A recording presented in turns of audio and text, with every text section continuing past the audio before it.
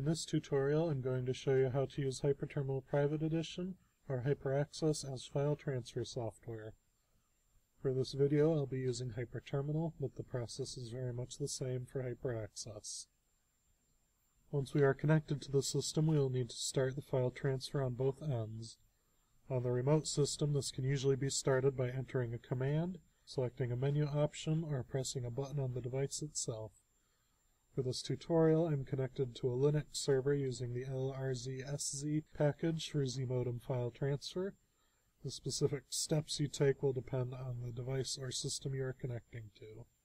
To send a file to the remote system, first I start the transfer on the receiving system using the RZ command.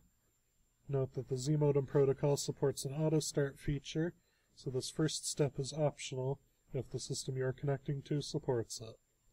If you are using one of the other file transfer protocols, you will need to start the transfer on the system before sending the file. Once the system is ready to receive, click Transfer, Send File, click the Browse button, and then select your file. Make sure the transfer protocol matches the one the system is using, then click Send. To receive a file from the system, first instruct the remote system to send the file, on my system, I will use the sz file name command to send the file. Once the system starts transmitting, I click Transfer, Receive File, select the folder to receive into, and then click Receive.